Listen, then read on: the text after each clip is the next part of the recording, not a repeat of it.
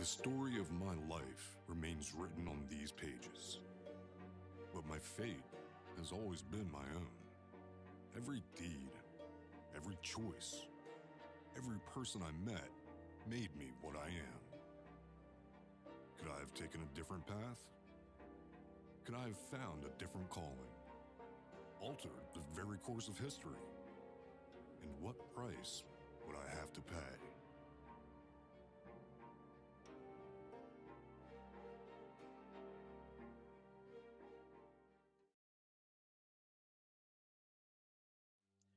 Greetings, fellow YouTubers, and welcome back to the life and suffering of Sir Brante.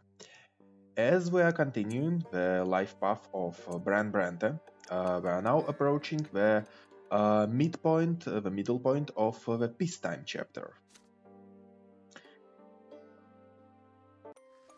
So, previously on Sir Brante, uh, in the previous session, in the previous episode, we uh, have started an affair with Octavia Milanides and we have grown uh, quite close with her. We uh, insisted that uh, she must treat us uh, like an equal. Uh, we started an equal romance with her. we have also been entrusted with a case against Dorius Otton, the noble Arknian, the high commander of the province, who was accused of violence against his own legionnaires. Uh, most importantly, we uh, have entered a very villainous deal with Remy Elverman, the magistrate of Anisot, and uh, gained his uh, patronage. Uh, in doing so, we uh, betrayed our immediate superior, Augustine Elborn, because there was a strife among us and um, there was a strife between us, and we decided that.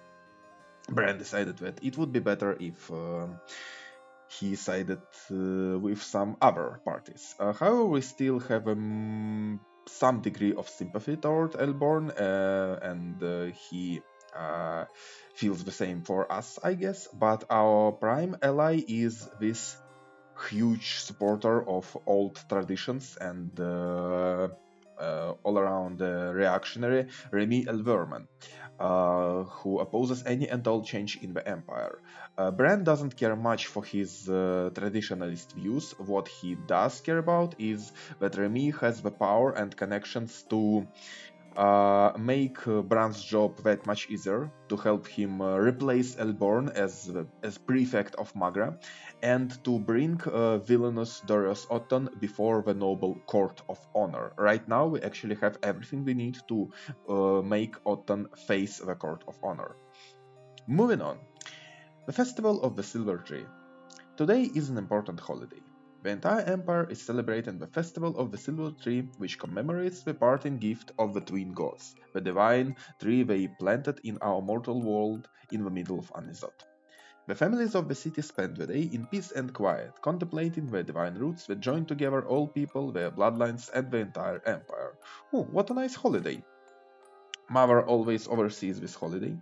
The day before the festival, she seemed to have shaken off her usual apathy and engaged in the preparations with excitement. It was as though her illness has loosened its grip. Okay, uh, the entire family gathers for the holiday meal. Uh, Father is in high spirits today, sharing jokes with me and Nathan. Uh, Stefan is uh, trying to suppress an atypical agitation.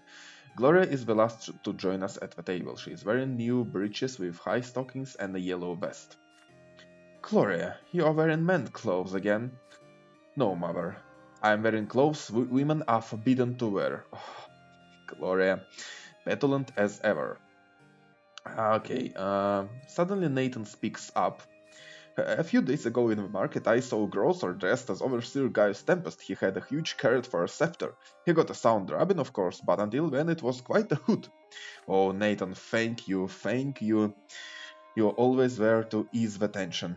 Okay, everybody laughs at the ridiculous story, relieved. Even Gloria has a smile on her face when she sits down. The feast commences. Our home finally feels warm for a moment. It wasn't so long ago the four of you couldn't even reach up to this table. The first word you said, Gloria, was gimme. Nathan used to cling to my skirt all the time, almost tearing it. And you, Bran, you couldn't talk at all yet, but your piercing stare was so expressive it felt as if you were talking to me. Mother looks at Stefan and suddenly grows quiet. When I met Stefan, he was already three years old. He was so serious and a smooth talker to boot. I remember that he had a music teacher, but he was too shy to play in front of me, so I used to listen from the next room. Stefan's face twitches. He rises and moves to the old uh, har- harpsichord. Harpsichord, uh, okay? His fingers fly gracefully over the keys. A melody fills the house, melancholy and sweet. The last note lingers in the air. The family is awestruck. Words fail you all. Who wrote that? A nobleman from the capital between drinking a glass of wine and beating a servant? Hmm. Stefan calmly turns to face her. No, it was I who composed this piece of music. It is called Mother. Mother rises to her feet and Stefan put his, uh, puts his arms around his stepmother's waist, then detaches himself awkwardly.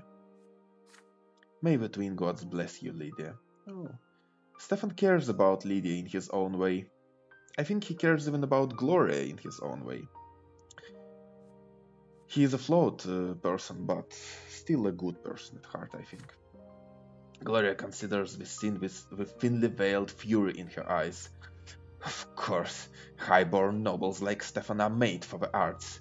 They are the only ones lucky enough to have a soul and experience inspiration. Unlike us, the lowborn, we aren't supposed to feel anything but suffering, let alone express it in poetry. Everyone notices that Gloria is clutching pages filled with writing, her poems. My sister casts a mournful gla glaze at the family and her eyes rest on me. okay, we only have two options here. We can let Gloria read her rhymes or interrupt Gloria. Both uh, options damage our unity uh, because one of them uh, pisses Stefan off and the other one pisses Gloria off. We can't appeal to Mother because our relations with Mother are quite cold, but I wouldn't have done it anyway because who needs uh, it, it? It would still piss Gloria off. Like who who needs Mother and her religious yammering? Uh, mm. Well, my choice is obvious here. I rise from my seat and speak. Uh, hey, hey, guys, folks. Um, mm, this is a family gathering. Uh, let's not concern ourselves with uh, lots and uh, all this stuff, uh, all this spiritual stuff. Well, uh, Gloria uh, can express her feeling too, I think. Uh, Stefan's music is beautiful, but why is he the only one who has the right to delight Mother with his creations? Uh, we are family. There shouldn't be lots among us. Like, uh, we we should be equal in our own home. We should treat each other with decency. Come on. Let Gloria read her poems. But what about her lot, son? Gloria is permitting herself to practice a noble activity, thus breaching the divine order. I want to say shut up, mom, but what I say out loud is uh, that, uh, mother, times have changed. Art isn't just a pleasure for the nobles anymore. It's also a trade uh, by many commoners. Many low-born tradespeople are taking up the pen and ink rather than the hammer uh, this is their labor and their suffering now. Pursuing arts can be hard, can be hard work, hard labor. What's so wrong with it? Gloria, please. Emboldened by my support, Gloria steps into the center of the room. Her eyes are fixed on father. A stranger and a bastard, I am called. I am, but still I long for you to say that I am yours and melt the icy cold that burns within my heart both night and day. My mother and my brothers all are near, but I feel cold, as though we were apart, ashamed, yet still compelled to make you hear. I long to hold you closely to my heart. I am a stranger, tis my only crime. Forgive me, oh, but mercy is forbidden. I hope you'll see, if not forgive, in time. My bitter laugh, both joyous and well hidden. Oh, Gloria longs so much for a place to belong. Like, She wants to be a part of something, a part of family. I, I understand that. She has no place in the world. That's what eating her up inside. That's why she's so petulant and uh, confrontational and uh, so rebellious. She, she, she wants somewhere to belong. She wants a place, a, a, name, and a home. I understand. Favor stares at her in bewilderment. Gloria, I. Stefan springs to his feet and leaves for his chamber, slamming the door behind him. Well, that was uh, an immature thing for you to do, Stefan. What's so wrong? Why can't Gloria express her love for our father? I don't feel so well. Nathan, son, please help me to my room. Mother leaves the room, leaning on Nathan's arm. The celebration is cut short. Oh, Stefan and my mother are something. The bright side is uh, we supported Gloria. Uh, we did not uh, shut her down. Stefan is um, disappointed in us. Our unity is damaged. Great. Great. But I do not regret my choice. Oh, a rendezvous with Octavia. Oh, finally something pleasant. Octavia and I do not see each other very often. Sometimes, as the days wear on, I forget about our unusual uh, affair. But then she bursts into my life and I abandon uh, myself to passion, until she disappears again.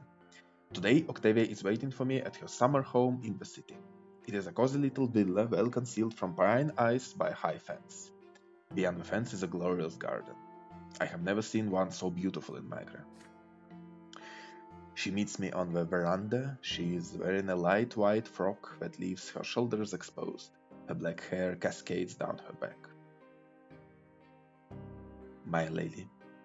She grins and draws uh, me toward her so that I sit down by her side. The sun is melting beyond the horizon. Octavia commands her servants to leave us alone. Tonight she is strangely pensive, barely touching her food and drink. Uh, my lady, uh, Octavia, is everything all right? You seem uh, preoccupied today. If anything's amiss, listen to me, Bran. I am at a crossroads. My father, the Archduke, is planning to send me out of Magra for a while. Apparently, in his opinion, my escapades are bound to cause trouble for our family.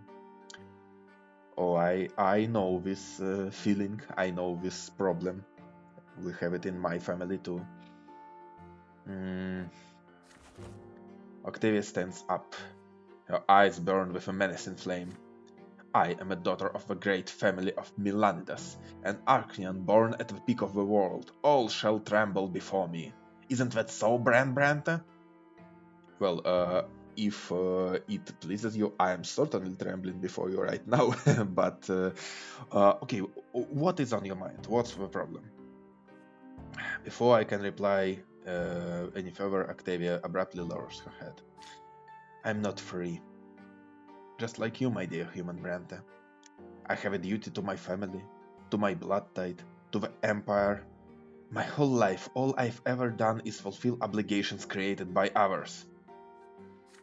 I have no aspirations. Everything is preordained. What the world is like, how I ought to live. What my father doesn't decide for me goes too up on the peak of a shining pillar or a lady have. I am looking for a way out of this cage. It must exist. I study history, but all I find are tidbits of lost knowledge. But I believe that I am not the first to try to escape the chains of this world. What am I to do, Bran? You yearn to break free of the fetters of fate just as I do. You have escaped the commoner's lot and joined the higher estate. Indeed I have, and indeed I yearned to break free. But your new lot is just as much of a prison, isn't it? Could it really be that none of us will ever be free? Octavia looks into my eyes dolefully. I have never seen her so helpless before. So one option is close to us. Uh, Octavia has to be our patron uh, for, to ask for her assistance. Well, because it's a very um, callous uh, option uh, to choose. Basically, it's like, oh, Brante, please listen to me. I am in existential turmoil at the brink of uh, existential depression. Yeah, yeah, my dear, that's all very nice and said, but let's speak about my job. yeah, uh, can't do that. We are too close with Octavia, we take her problems too hard. Okay, we, we can share our revelation. We can relate to Octavia the grandeur of a twin god's design. Mm, not uh, path, he does not respect the twins uh, that fervently. To preach to Octavia, inquire about this arcane knowledge. Uh, we ask Octavia about the lost knowledge she has been seeking. Mm, once again, a unique option because we have grown close, but once again, uh, Bran uh, does not um, take that uh, much interest in arcane mysteries of the world. Lose ourselves in pleasure. We encourage Octavia to remember the joys of this earthly life. So, Octavia needs my advice, my honest opinion about uh, whether we can ever be free. And I think Bran Brante has an answer for her.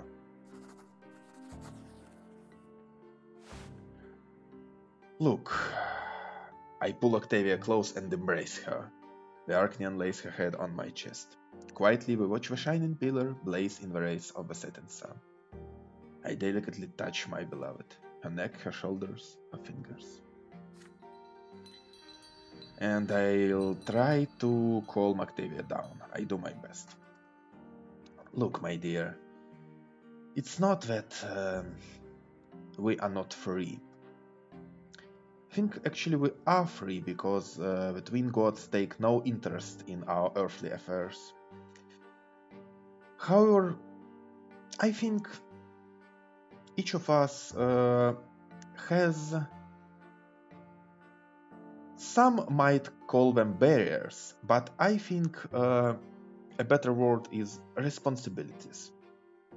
Each of us has certain responsibilities. A simple judge has his responsibilities, and a lady of a Milanides family has ours. However, if we forsake our responsibilities, if we forsake our duties, only reprisal and ruin await us. Because uh, if we forsake our responsibilities, we forsake ourselves, our very nature. And uh, isn't it uh, dishonorable to oneself to betray your very nature, who you are, and uh, who you are in this world? However, in their wisdom, the twin gods uh, left something to us to ease the burden of our responsibilities. The earthly pleasures. Look at this world, my dear Octavia. Many pleasures await us here. A familial love, bonds of friendship, fine food and drinks. I look her intently in the eye. Uh, the pleasures of uh, love, spiritual and uh, physical. We may, we may not have much time together on this earth, but while we are still here, while we're still together, we must savor every minute of it. That's my answer, Octavia. That's the best freedom I uh, can uh, describe to you. The freedom to embrace the woman you love, the freedom to kiss her and caress her and look at her with love in my eyes. To savor these earthly pleasures provided to us by the twins. Isn't that enough? I love whoever I want, I do what I deem necessary to do, and I am content. In my honest opinion, that's how life should be lived. Octavia detaches herself from me and smiles playfully. I think you are not as simple as you wish to appear, Bran. I will wager you are seeking far more than the pleasures known to you. You just don't want to let me slip away. True, I don't. But I spoke honestly, my dear. I swear. You say that everything has its barriers, but to me everything appears to be submission, as though I were a puny commoner at the feet of my master. even if my master is the design of the gods. Must I, Oct- Octavian Milanidas, submit and endure? No, I'll find another way. But you're right about one thing. That's enough theology for today. Carry me to the bedroom, and quickly, before I change my mind. We spent the night caressing each other, delighting in idleness and pleasure. Nothing can disturb us tonight, not the Archduke, not the Lords, not even the twin gods themselves. That is the best thing in life. To embrace the woman you love and spend a single night in pleasures of the flesh. What more can one ask from the gods? Nice. Our romance with Octavia unfolds uh, in a very pleasant manner, I must say. The Emperor's heirs in danger. Mm, this um, event is not that important actually. Uh, like it, it can uh, pay off in some endings, but uh, basically the Supreme Chancellor of the Empire, Garrus Monroe, um, the Great Chancellor of, of, of Empire, um, has offered sh uh, shelter to the heirs of the throne, uh, Princes uh, Jerian and Flavius. Uh, but some people are afraid that uh, they are not so much under protection, but they are held hostages to um, put a pressure on the emperor. Okay. All hope for free. Ah, that's why it's important. All hope for reform in the empire has vanished.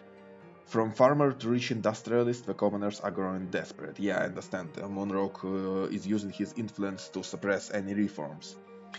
In my province, the authorities are trying their best to put the people at ease. The magistrate of Anisot makes a speech from his balcony to the excited crowd below. No, Remy Elverman basically says that everything is fine, everything is going according to plan, trust in your emperor, good people, uh, the imperial heirs are gonna be fine, blah blah blah. Oh no, oh no, not good, wealth of Magra drops further, struggle for power, peacetime ends soon. Uh, not really, we still have uh, plenty of scenes to go, but uh, we should examine possible chapter endings to, ch to check which way we are headed. Uh, it's fairly obvious that we are headed uh, towards this. Uh, try to bring Otton to the Court of Honor. Yeah, we, we closed this door, so yeah. The search for evidence. I am walking up the marble stairs that lead to the doors of the prefecture. The sword of a younger twin carved from stone looms above the doors, just as the case of Dorius Otton now looms over me. Preparing this case will take many long months or even years. Yeah. And time and again I ask myself, I, am I ready to see this case through to the end? I think I am. Uh, more or less. Uh, father meets me at the stairs. Okay. Son, I didn't want to discuss this back home. Elborn is our friend and I stand by him at all times, but he's dragged you into something that is far too dangerous. Oh, thank you, father. I know. I know. I'm not going to repeat your grandfather's mistakes, so I won't tell my son how to live his life or what to do. But I ask you to please consider our family. Would it be worth it to let us come to harm, even if the triumph of justice and law is at stake? There are already rumors at the prefecture. They say you are getting ready to summon a highborn Arknian to court. You and I are both Brantes. Perhaps we ought to stay away from something so dangerous. Some battles are too ugly for us to win. You can always slow down the process and bide your time with routine paperwork, avoid attracting unwanted attention. This way your career and our family honor would not be at risk. Trust me in this, son. Rather than making a selfless sacrifice, we can achieve far more through tireless service for the good of the law. Our father is a little bit of a coward here, but he does not know that I made this dishonorable deal with Elverman and my career is beyond secure. Like, I can uh, afford uh, taking risks now, because I have uh, patronage of Elverman. Anyway, um, Father, I will consider your words. And now I am at a crossroads. If I am to make any headway in the case against Otton, I have to start now. Okay, uh, the thing is, we still don't have any evidence of Otton's crimes against his uh, legionnaires. Uh, Thomas could be the key to the entire case uh, if he can help me find the other men who have suffered under Otton, but Thomas is a hunted man and he has every reason to lay low and steer clear of the courthouse. Yeah. Uh, I could gather evidence myself, but uh, the Legion may meet a lone outsider with too much resistance. Things might get ugly. The thing is, we can uh, bring Otton down if we have another powerful Arknian on our side. Gaius Tempest, the Imperial Overseer of Magra, the Emperor's brother. Every aristocrat in the province knows he detests Dorius Otton for remaining loyal to Archduke Milanides. Ensuring, ensuring his support would increase my authority and give me a chance to gather evidence against Otton, without Thomas lifting a finger. But the Imperial Overseer is one step above the Prefect, and uh, basically I can only address him if I keep it a secret from Elborn. Mm, it would mean defying my loyalty to Elborn again and uh, start uh, working directly with the overseer and for the overseer, I imagine. Okay. Oh, we actually can't ask Thomas why. Oh, I see. Because he does not uh, trust us enough. I- am sorry. Uh, so the thing is, uh, uh if we ask Thomas to help me gather evidence, Thomas uh, will be in danger once again. So, for example, if we somehow manage to rescue Thomas in previous scene, like strike uh, this deal with Otton, convince Thomas to leave the Legion, uh, if we ask Thomas to uh, help us, he will be in danger immediately. Like uh, we, uh, it, it, this means that uh, we can't rescue Thomas and then use him as a key witness. And moreover, all options, all the options to save Thomas to protect Thomas that uh, our connection with Elborn has offered us, uh, included uh, that Thomas Guerra would be in hiding. But if Thomas is in hiding, we can't uh, use him to get evidence against Otton. He must not be in hiding for us to ask him. So, what I'm trying to understand is, for example, if we uh, remain uh, loyal to Elborn, mm, our only options uh, to gather evidence against Otton and not betray him, because uh, asking Overseer Gaius is uh, considered a betrayal of Elborn, uh, our only options is to put our best friend in danger, or, yeah, die a lesser death. And the other option is don't waste our time, uh, blah blah blah, basically do nothing and uh, sit and wait for something. well, um, that is interesting. So basically, even if we uh, had used some options uh, to protect Thomas uh, using our connection with Elborn, we wouldn't have been able uh, to uh, ask him now for help. Great. So the lesson we learned today, kids, is this: working for Elborn sucks working for, for Elborn is jumping from one foot to another constantly. he's a good man, he's a decent man, but I think he's a very bad prefect. He uh, tackles this Otton case very clumsily. However, uh, as we have already betrayed Elborn, it would not make much difference to ask Overseer Gaius for support. Our reputation is good enough. And that's what we're gonna do. Okay, um, the Imperial Overseer should pay heed to my letter if uh, my interests happen to align with his, and they do. The reputation of the Brante family among the nobility of Magra is high enough to make Gaius Tempest at least consider a petition from me. Uh, we are known as a respected and hospitable family. We respect the imperial law, we respect the noble traditions of valor, honor, and hospitality. I compose the letter to Gaius Tempest. Um, through subtle hints, I inform the overseer that I might be useful to him in establishing order in the province as he sees fit, and neutralizing his opposition. Mm-hmm. I mean Otton, of course. I am ready and willing to gather evidence that will implicate Dorius Otton in treason. All I need is the authority to represent the Overseer in this matter. Uh, to my surprise, the Overseer's reply arrives just a few days later. Judge Brante, your eagerness to serve the, the Overseer is praiseworthy indeed. One does not doubt the good intentions of a Brante family, whose reputation precedes them. The future of the Empire rests upon the shoulders of young nobles such as yourself. As the Supreme Commander of Magra, I cannot condone such lawless behavior in my legion. It is your duty to investigate the Legion officer tainted by such allegations, and no one may interfere with the performance of the duty. You will soon receive a document to the effect that you represent the interests of the Imperial Overseer in this investigation. However, do not make haste to publicize any evidence you might gather. This matter is too delicate to act recklessly. You will receive word when the time is right. From this moment on, Sir Brante, the Imperial Overseer holds you personally responsible for this endeavor. Oh. Ooh, we are starting to circle in some high places. Hmm. Okay, uh, with my authority expanded, I begin the investigation. The fate of Gaius Tempest is enough to open doors and make people talk. No official employed by the Imperial Legion can refuse an inquiry made with the Overseer's authority.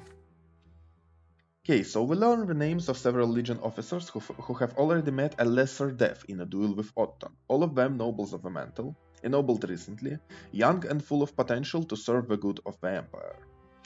None of them are eager to speak of the duel, all of them are anxious to avoid getting challenged again. Mm -hmm. They finally agree to have their statements committed to ink and paper, so they are gathering testimonies. And written testimonies. Okay, uh, I reassure them again and again that their testimony will put an end to Otton's murderous rampage. What I'm trying to do is to get Otton dishonorably discharged and stripped of all ranks and power. The statements of the legionnaires paint a picture. There is a method to Otton's madness. All of the officers disobeyed the commander at least once or expressed their disagreement, no matter how respectfully, so like Thomas did. He refused to burn the village down, so Otton challenged him. Mm-hmm. More and more officers are starting to realize that Otton's loyalty lies with Archduke Milanides and not his lawful superior, the Overseer. So more and more officers are getting challenged by Otton. So Otton's duels have gone beyond his passion for sword fighting. They're also an excuse to eliminate any suspicion of his treason. Bastard. The relatives of the officers who have met true death in a duel are the hardest to convince. Widows, mothers, fathers. They all say the same thing with the same grim expression. They have nothing to complain about, nothing can be done anymore. The officer met his death in the line of duty. That is all. But I am persistent, and eventually I persuade them to admit that their husbands and relatives all met their end at Otton's hands. Horrible, horrible. Okay, I begin to notice a trend.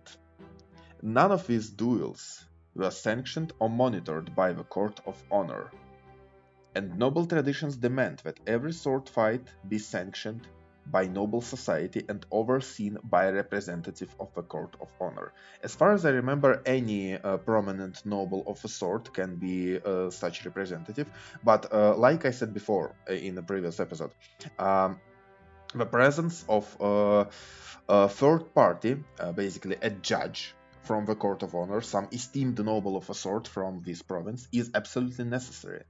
So Otton thinks himself above even the noble traditions of old. Dishonorable to the bone. The once thin folder against Otton grows fatter by the day as I write down every instance and incident, every name, every circumstance.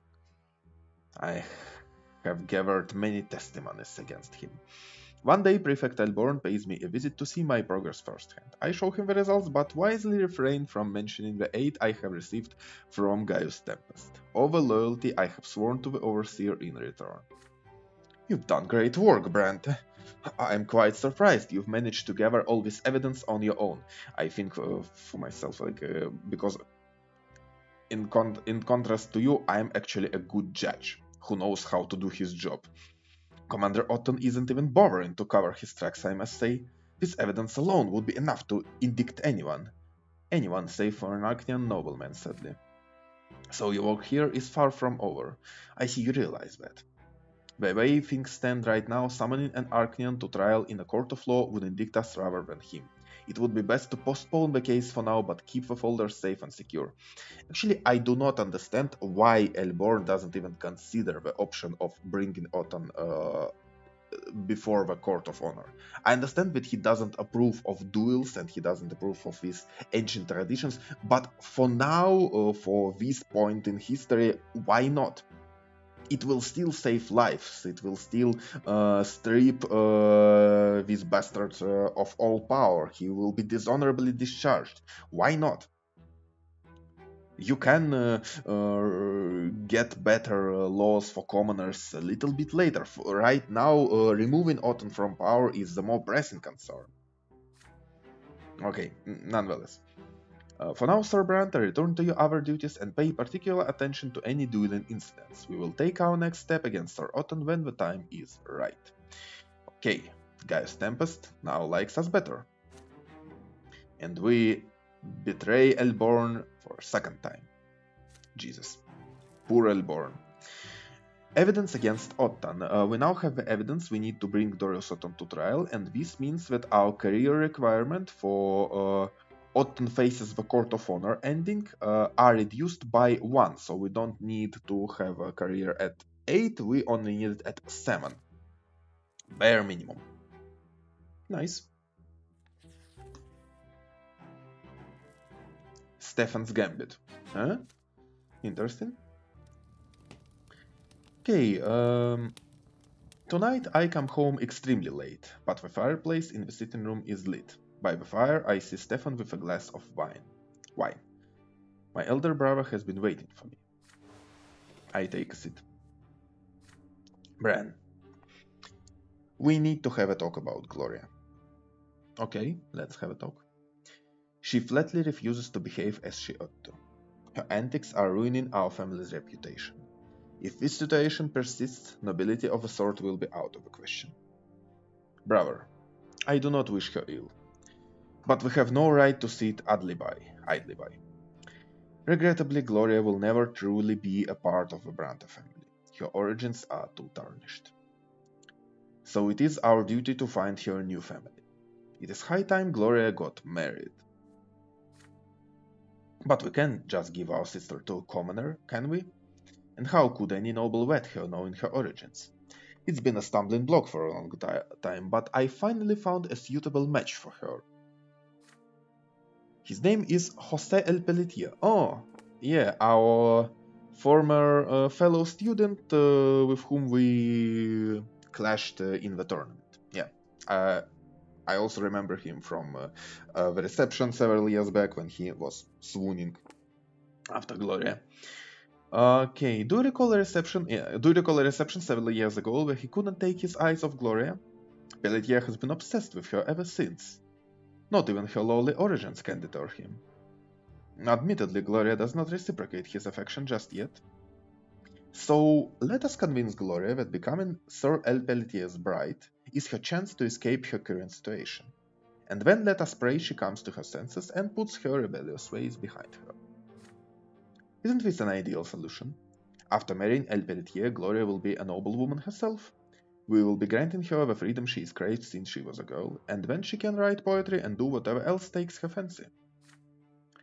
I will enter into negotiations with the El Pelletier family, Rumor has it Jose's father already has a future wife in mind for him, the daughter of an important chancellery official, but Jose's passion must win out in the end, don't you agree? As for you, Bran, please help me with Gloria. You are closest with her. You can make see her see how beneficial this match will be. She must fulfill her duty to the family that took her in, after all. Hmm. Okay, um, Okay, this is, uh, in my opinion, an extremely morally grey situation, because obviously this arranged marriage is not what Gloria wants right now, like at all. She wants to be accepted as Brante, uh, as a part of the family. She wants to get officially adopted. Uh, we saw it clear as day. She wants to, she wants her father's her stepfather Robert, to uh, call her daughter officially. However, if we do so, it will indeed ruin our chances uh, at uh, ennoblement by the sword. Any hope for it will be lost. And uh, harsh though it may be, uh, Bran doesn't think it's morally good and morally right to throw away the future of all our descendants just to satisfy one person's desire to be adopted. It is uh, selfish and foolish to do so. Um, like I said, obviously this decision is not morally good, morally perfect. It is an arranged marriage, it is a chauvinistic thing to do, it is uh, against Gloria's wishes. However, uh, as Bran understands this situation, Gloria needs a place to belong, a place to call home. A marriage with uh, a nobleman who loves her as she is, who uh, upholds the principles of uh, noble honor, this is a good solution. Jose will love her and treat her well, I hope, and uh, she uh, will be free from the shackles of her common lot, which she hates.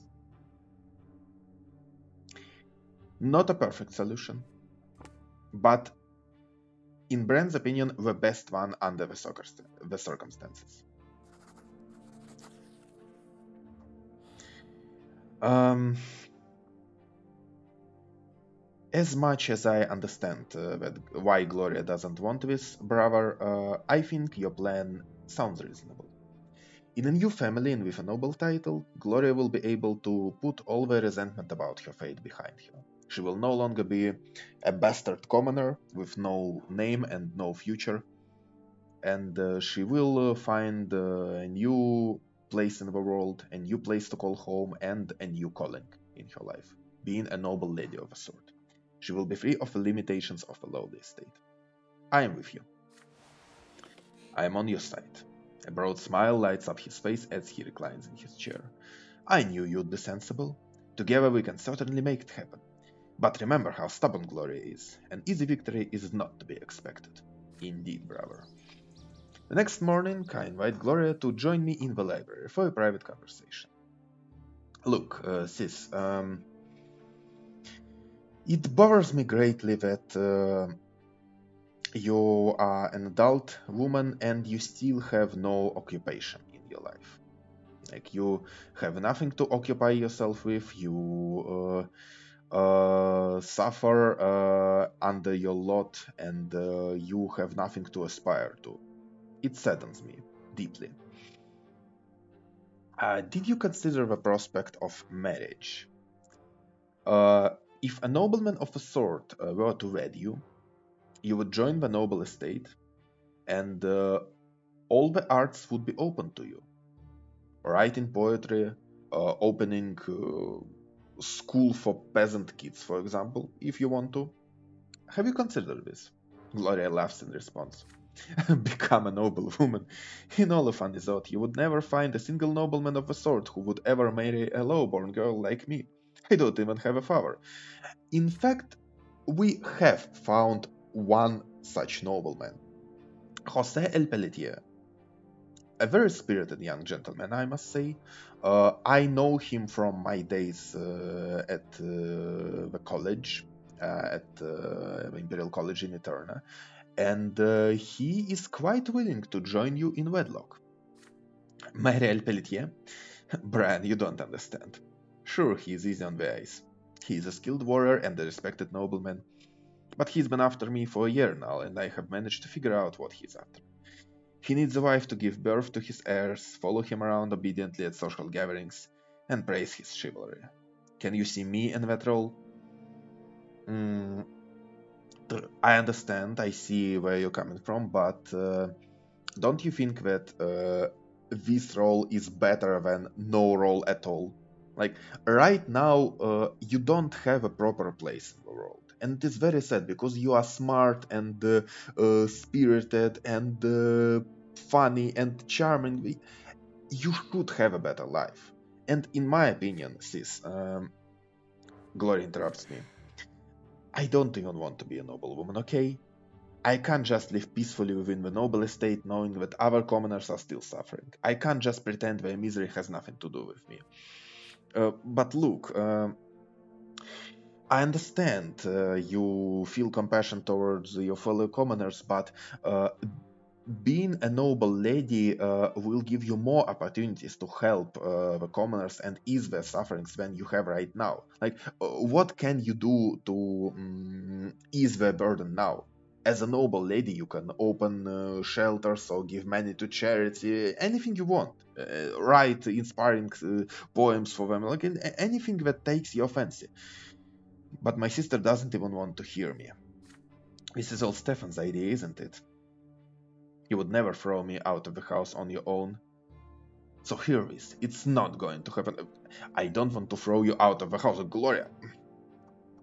Ah, this is going to be hard. I inform Stefan of my sister's refusal. His face turns to stone. The ingrate. I've almost come to an agreement with old El Pelletier. All the pains we've taken to arrange her future, and this is how she repays us. Well, we'll proceed without consulting her. Brother, we need to devise a way to put pressure on Gloria, even if it takes us a long time. Okay, Stefan likes us better. Uh, we have entered a secret plot with him. Fortunately, Gloria does not worsen her opinion on us. Huh? Oh, oh, an audience with the overseer. Makes sense.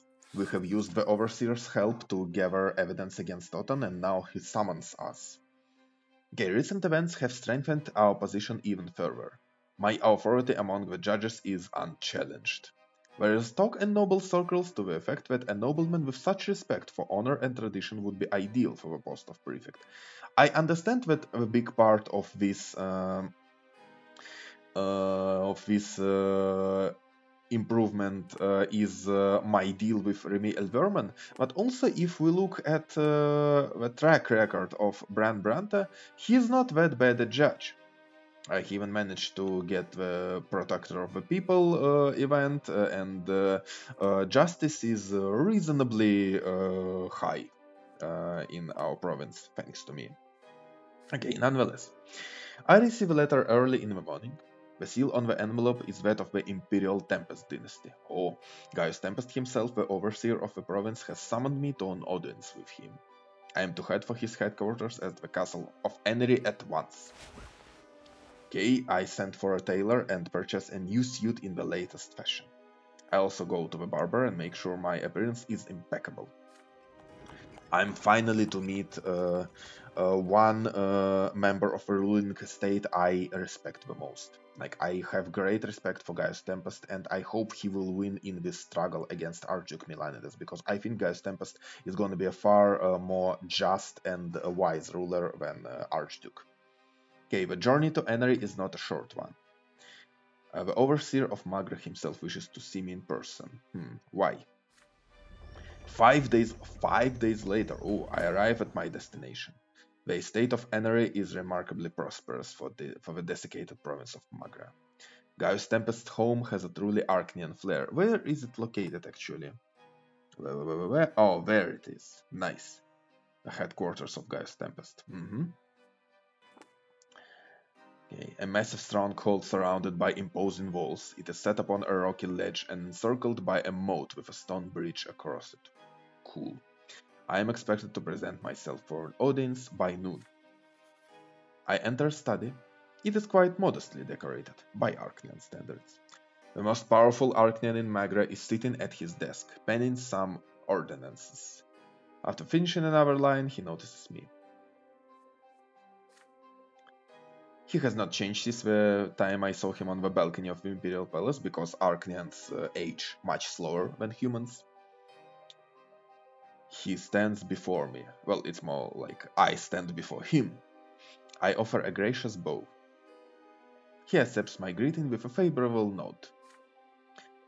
I've heard of your family, Sir Bran Brante. Nobles of a mantle for two generations only, and already such recognition among noble society. Your work as a judge deserves respect as well. It seems you know how to choose your friends and allies.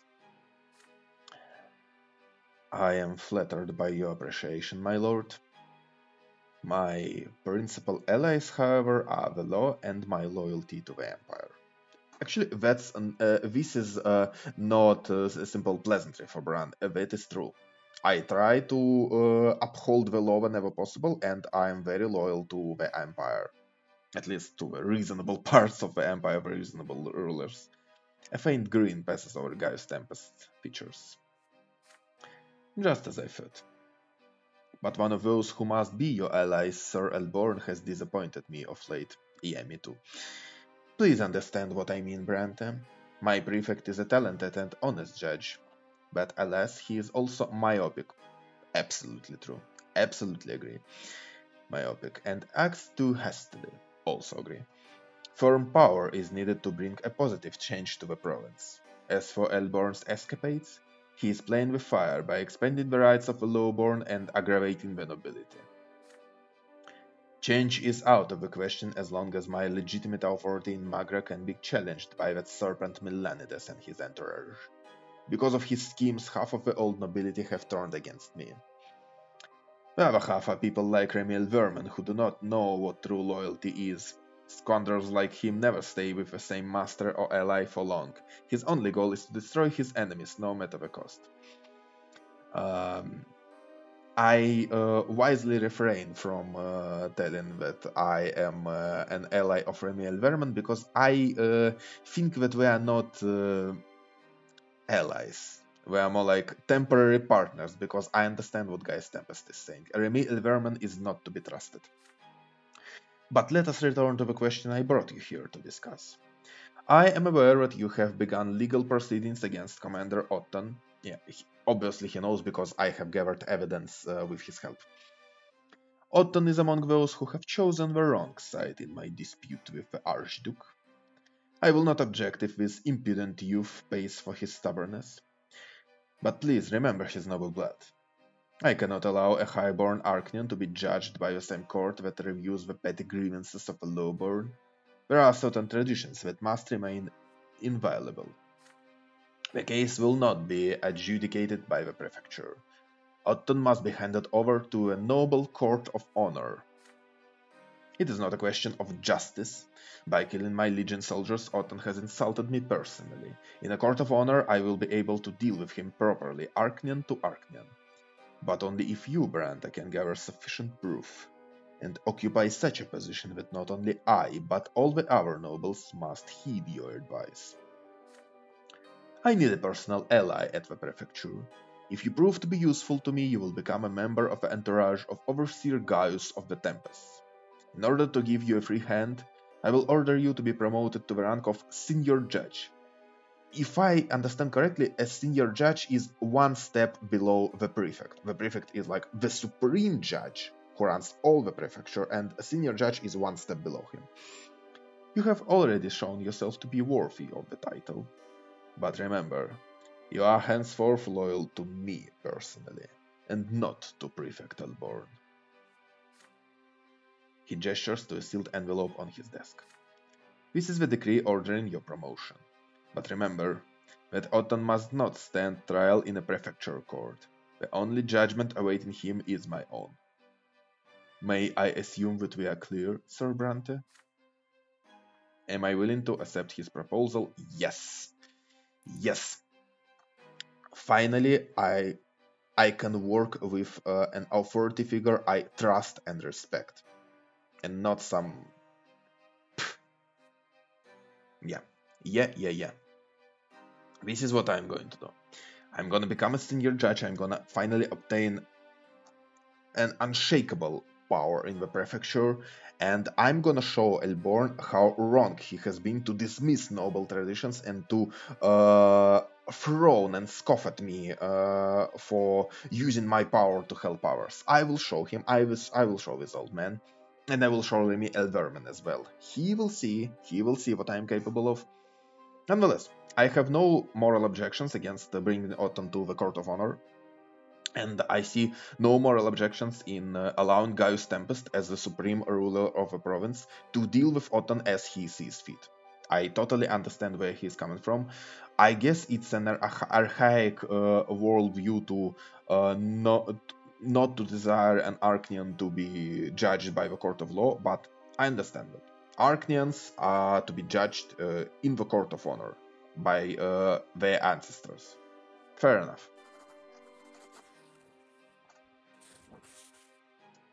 I bow my head. I uh, graciously accept your generous gift, my lord. I will carry out all your orders. You can count on me to fight against your enemies by word and deed. Gaius Tempest reclines in his chair with a satisfied air. I expected nothing less. You have risen high, Brante. You have the patronage of a noble Arknian from the Tempest family. Do not let me down. Why does everyone keep telling me this? Do not let me down, do not let me down. No, you do not let me down.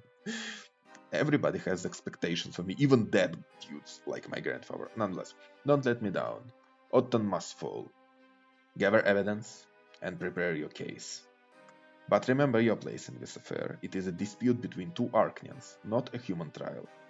I understand my place perfectly fine, my lord. Your judgment is the final judgment. You are the supreme ruler of the province, and uh, I am at your service. It is time for the midday meal. You will depart first thing tomorrow, but you will spend the night in the castle. Okay, I leave Farnezot the next morning. Rumors about my audience with Overseer make their way through every noble household. Becoming a senior judge is a big deal. Prefect Elborn receives the news of my promotion with the utmost surprise, I can imagine, but fulfills Gaius Tempest's request without any objection. A promotion is an occasion that calls for celebration. Uh, okay, my grandfather Gregor Brante is the only other member of the family to hold such a lofty position at the prefecture. The celebration attracts all of Anizot high society. Among the other guests, Magistrate Elverman pays me a visit. Oh, you double-faced little weasel, hello and welcome. The celebration is in full swing when Remy Elverman takes the stage. My dear Bran, allow me to congratulate you on becoming a senior judge. I am glad to see this post filled by a real nobleman who has respect for our traditions. You may not have been born a nobleman, but you have become one. But you mustn't rest on your laurels. Instead of truly dispensing justice, many judges prefer to interfere with the lives of Anizot's most esteemed citizens. Persecute nobles, basically. I'm sure you'll find a way to put them in their place. A toast to new heights for Senior Judge Brante. The seat reserved for Prefect Elborn is empty. He has chosen not to come at all. Elborn hates us now. Okay, I have risen high, but the higher we ascend, the more deadly we fall.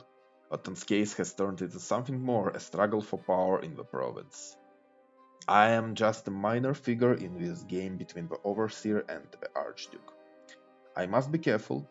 With that thought I empty my glass, but what is really important is that I have chosen my side. I firmly support Gaius Tempest in his desire to punish Otton according to the traditions of old. I think it's a noble and brave uh, desire.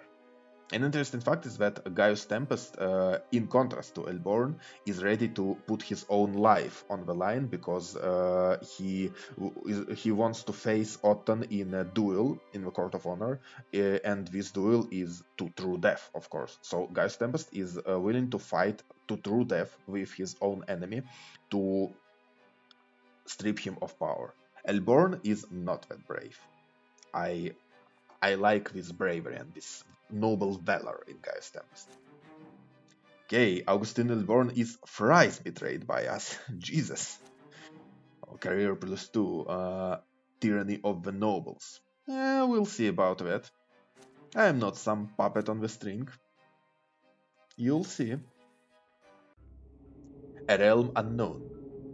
The sun is setting on a cold windy day as I return from the prefecture.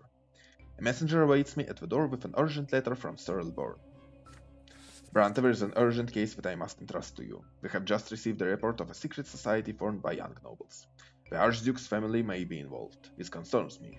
I suspect a possible plot to depose Overseer Tempest. Normally, the secret chancellery handles all such cases, but I'd rather investigate the rumors of a plot before there's any action. Preventing unnecessary bloodshed and disgrace would be prudent. You are to investigate this matter as soon as possible. Okay, uh, so he says that uh, the gendarmes tracked down a suspicious nobleman. Uh, a meeting will be held tonight, uh, and uh, we are about to enter it in secret.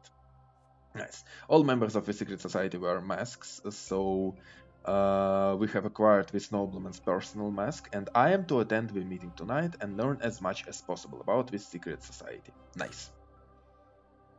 Mm-hmm. The mask fit, fits my face perfectly. Mm. A secret gathering, interesting. I like secret gatherings. I have been to several secret gatherings, in fact, mm.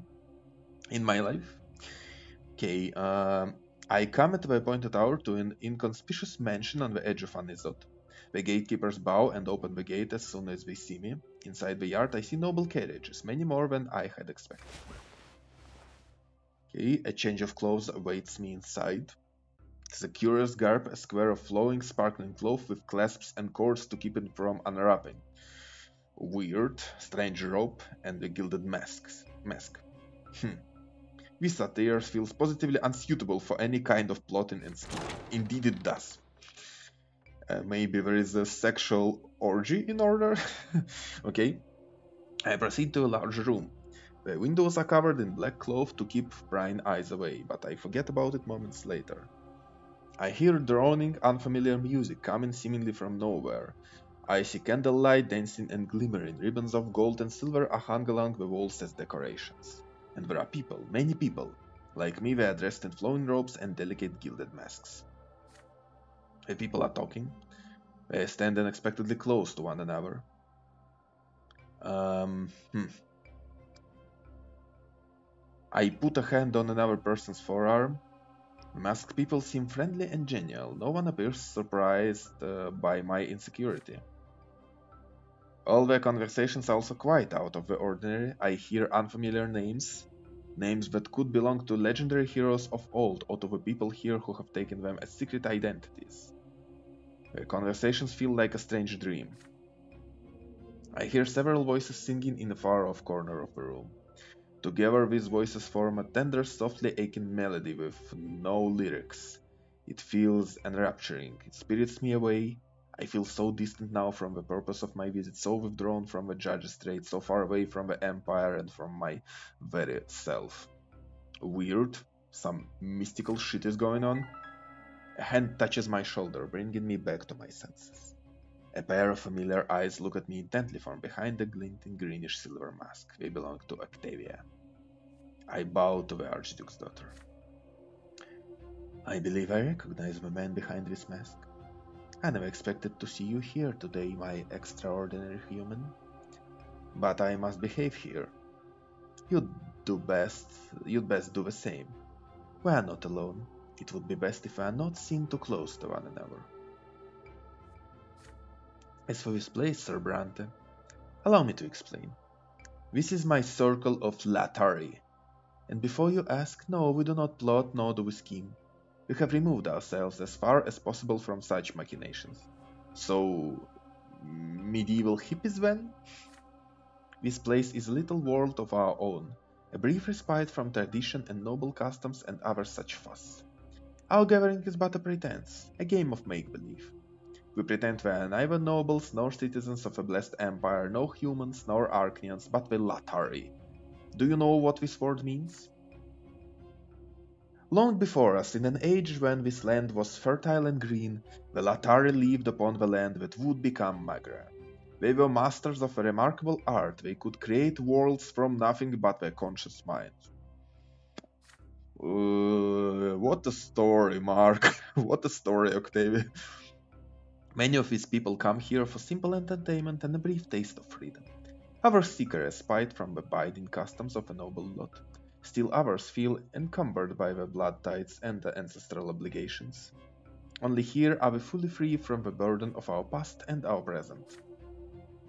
Yet some among us see more than, seek more than brief moments of freedom.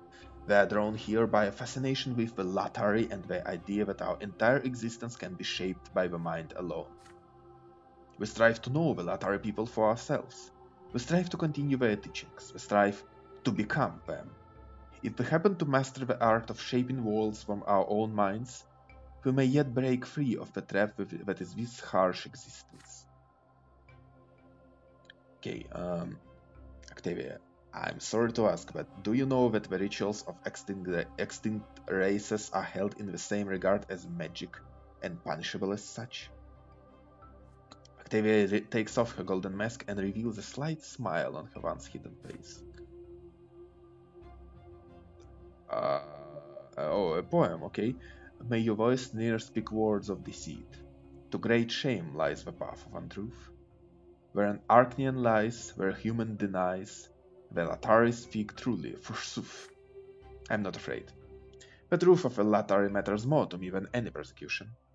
You came here in secret, which means the prefecture has taken an interest in my little gatherings. But I am confident you will describe this as an innocent club of young nobles and keep our fragile world from prying eyes and ears. Would you do this for me, Bran Brante? Mm. Okay. This gathering is in violation of the law. All rituals of extinct races were banned at the foundation of the empire, like an unholy, like unholy uh, arts, magic, basically. I may summon the gendarmes here at any moment, but mm, Octavia will never forgive me. Not good. I keep the Circle of Latari a secret from Elborn, but uh, if the Secret Chancellery ever takes interest in these meetings, I will be powerless. Someone has reported Octavia's circle to the prefecture, there's a very good chance these reports will continue. It's only a matter of time uh, before the secret chancellor intervenes. Hmm. However, I could make the circle into a noble historical society, with a piece of paper, some ink and a bit of skill. One of many dozen in Azot alone, Legitimized by the city, Octavia's gatherings would remain a secret within this mansion. Would it be wise to expand my influence in this way?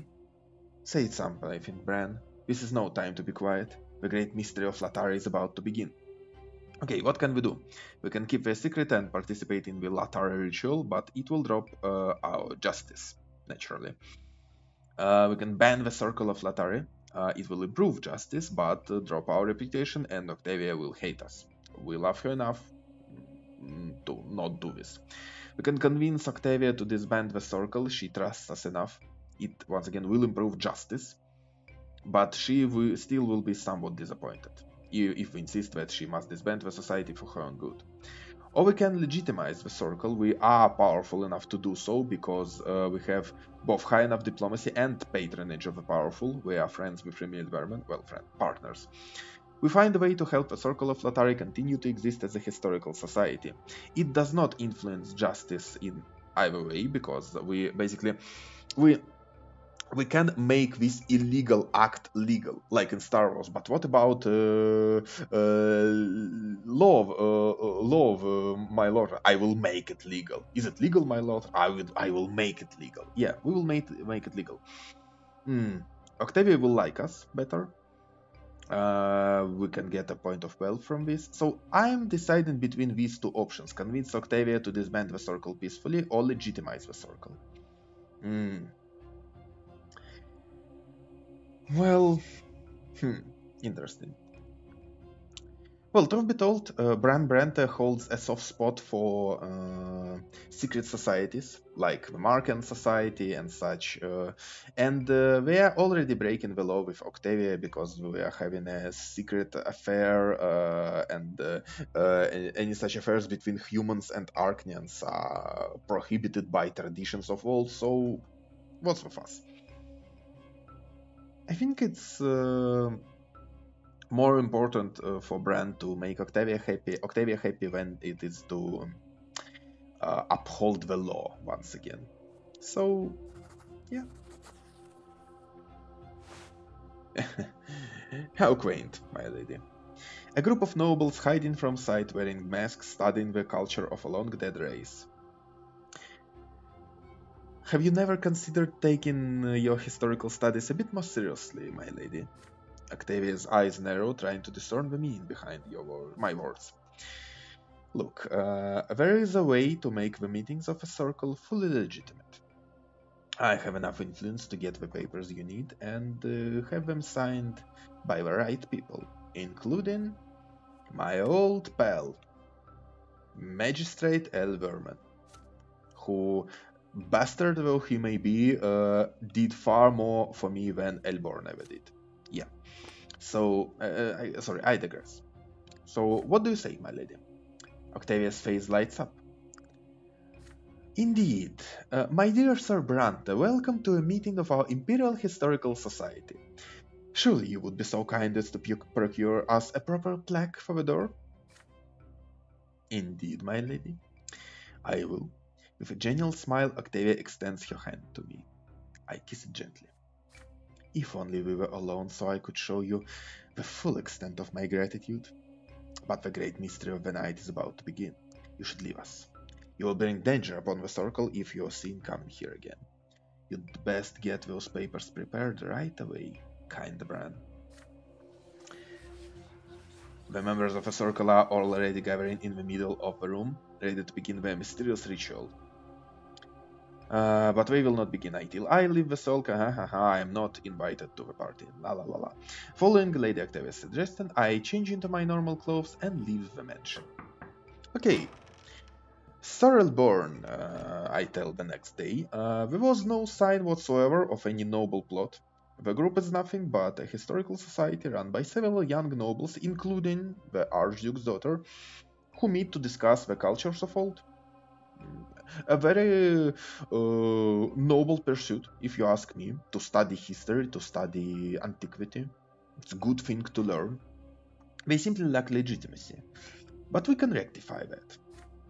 Mm, this sounds suspicious, Brante, and the Archduke's daughter is involved. I hope you know what you're doing. Either way, I'm glad we didn't stick the gendarmes on them. I hope the Secret Chancellery and Sir Alfero... Who's Sir Alfero? Ah, the guy from the Secret Chancellery, yeah. never learn of those reports. I doubt the advisor would be as tolerant of their youthful amusements. Yeah, they're gonna be fine because uh, this society will have all the permits they need to operate without arousing suspicion. And so the Anizot Historical Society for the Study of Ancient Peoples is founded. The city hall wastes no time approving the necessary paperwork because every official there knows that Judge Brante is a respectable gentleman with friends in high places. So this is what power feels like. Just snap of my fingers and uh, I form a new society and save these young people from further trouble and make my beloved happy. Mmm, the taste of power. It tastes good. My busy parents pay no heed to the follies of young nobles. Octavia sends me her reward in the form of a letter.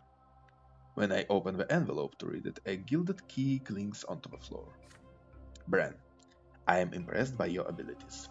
You know how to use your connections and bring me joy. It pleases me to know that I was right about you. A chest matching this key will be delivered to your estate tonight. Farewell, Bran. It will be some time before we meet again. I have much to do on my own. Mm, it says here that I cannot help but think of Octavia and those who followed her that have dared to reject their nature, lot, and birth in an attempt to become something else entirely. But I think no harm will come uh, of it. Like uh, ancient magic, blah blah. I don't believe uh, this. Like I felt something weird when I entered the mansion, but uh, I hope uh, it will bring Octavia some amusement and uh, ease the burden of her lot. She seems very distraught about her lot, her destiny, her obligations. I hope she feels better. As for Octavia and her circle of Latari, I hear nothing of them for a long time. After that night, the Archduke's daughter seems to vanish from the social circles of Anizot. My encounters with her have ended as abruptly as they had begun. Still, affection from Lady Octavia. She loves us dearly. We made her very happy indeed. Nice. Oh, and the point of wealth. We are very affluent. Yoo-hoo! Alright, moving on. I really like the taste of power.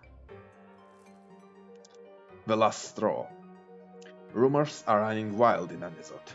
People say that a mysterious clandestine society called the Last Straw holds the entirety of the city's seedy underbelly in its clutches, with men and safe houses all over Anizot, plotting and scheming against the nobles and the rulers of the province. Their leader is a woman, a ruthless criminal by the name of Sophia. Oh. I wished to meet Sophia again and I wished for her to find her own path, but I didn't mean it that way.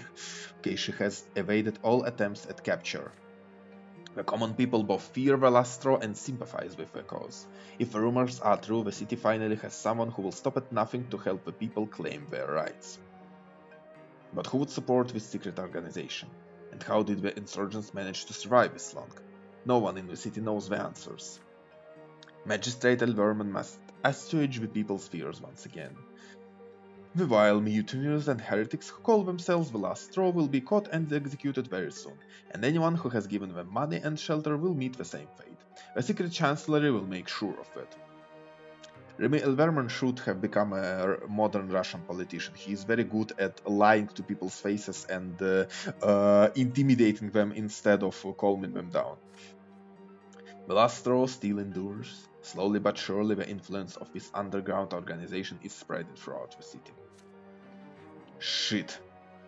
Shit, shit, shit. Order drops down to unrest and wealth of Magra drops down to misery and devastation. Oh my god. Not good. We live in troubled times. Indeed. What? Oh, oh, why, why, why, why, why, why, why? Why? We need a firm hand to rule this province this shit can't go on like this. Like we we need to establish a strong uh, power structure and finally start to make some reforms. Like this shit can't go on. Threats and promises. Huh. I am in the middle of ascending the city hall's long curved marble staircase. A small man beneath the building's towering vault. Uh, so Magistrate Elverman has summoned me here Okay, I am already expected. I enter the spacious room that is the office of Elverman. I find him sitting in his comfortable chair of cardboard. He acknowledges my presence with a nod. However, he is not alone. By the window of the office stands a tall Arknian, Dorius Otton. Oh, he does not even bother to look around and to turn around and look at me. The magistrate gestures to me formally, beckoning me closer. Judge Brante, you have come at last. Sir Otton has been eagerly awaiting your arrival. You see, the commander has learned about a litigation being prepared against him at the prefecture. He demanded that an end be put to these machinations at once. And I humbly offered him my assistance. Oh, you little weasel. You are in cahoots with him. Hmm. Slowly, Otton turns to face me. He eyes me with cold contempt. Brante, you again? Again? I don't believe we have met formally before. So, ah, we, we have. I have been Thomas second in uh, his duel with Otton.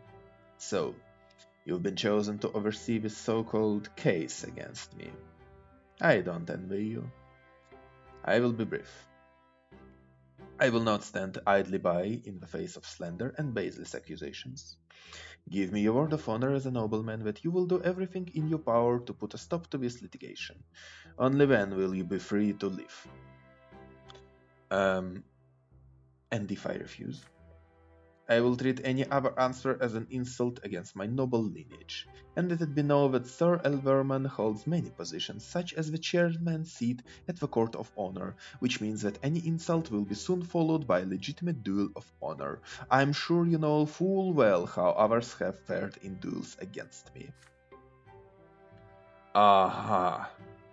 Okay, let's see. Uh, what option is unlocked? Give Otton my word drops both my career and justice. Not good. Not good. I'm not gonna yield before this shithead. I am firmly on Gaius Tempest's side and this bastard is going down. However, I can't put Otton at ease. I can't uh, lie to him because my manipulation isn't good enough and Dorius Otton uh, doesn't treat me well enough. I see. I can retaliate against Otton, stand my ground and force him to back down, it will even improve my reputation, but uh, it will also cost me a life. I will die a second death. Mm, too costly. mm, not a good deal. Like uh, uh, to sacrifice my whole lesser life uh, when it might be needed in the future, only to get a point of reputation and uh, what else? A point of valor? No, not good. And what is this? Oh, Sixer Elverman's protection. We have his patronage, uh, and uh, I can call in this favor in exchange for his protection. Hmm, I think that's what I'm gonna do. Time to put this connection to good use.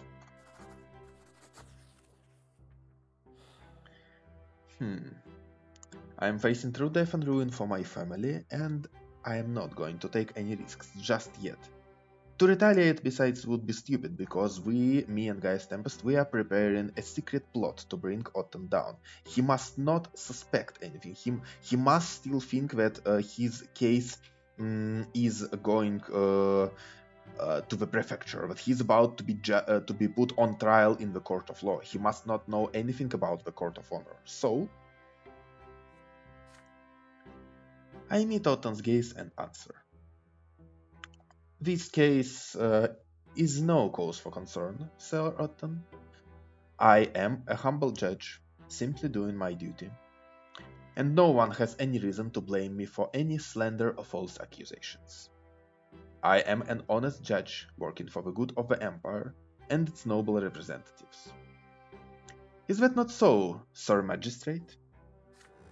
Elverman remains quiet at first, but then he shrugs, fighting back doubt, and finally rises from his seat slightly to address Otton. Sir Otton, my friend, uh, allow me to speak in favor of young Brante. He is still young. He has not learned his place just yet, but he has already proven himself to be a worthy servant of the Empire. I can personally assure you that he will not permit any slander and will honorably quash any rumors that might tarnish your reputation. Give him time. Otton turns around, he looks at Elverman with distrust. I don't know what this human did to earn your favor. You'd better be speaking the truth, Remy. So be it, Brante. I'll give you time. Do not fail the magistrate he watched for you just now, and pray to the twins if I hear even a word of this so-called case ever again. I assure you, noble sir, that uh, under my uh, watch, on my watch, uh, everyone will get what they deserve. And uh, a nobleman who is honorable and uh, respectful towards our old traditions has nothing to fear. Otton quickly walks out of the magistrate's office. Elverman turns to me, shaking his head in disapproval. So, Brante, it appears you know how to make good use of your past achievements. But you should know that favor does not last forever, especially when your actions earn you the ire of Arknians who represent the pinnacle of our society. Be careful from now on, and heed Sir Otton's words. Believe me, he will know how you conduct his gates. Good night, Judge. Good night, Sir Magistrate. yes, Otton's sword will continue to loom over me until his case come to an end, but for now I have made some good use uh, from our deal with Elverman. His influence protected me from further harm. Nice. Nobleman's honor. Okay, uh, as the strife between the estates grows more bitter, the judge's trade grows tougher by the day. The commoners demand more rights and legal protections, the nobles do their best to push back. As things stand right now, any verdict made in, made in court may result in upheaval in the province and possibly determine the outcome of my case against Otton. One day, in a park by the Fales estate, favored by dueling Anizot nobles, I see a curly-haired young man lying prone in the small sunlit square. His body has been pierced by a sword.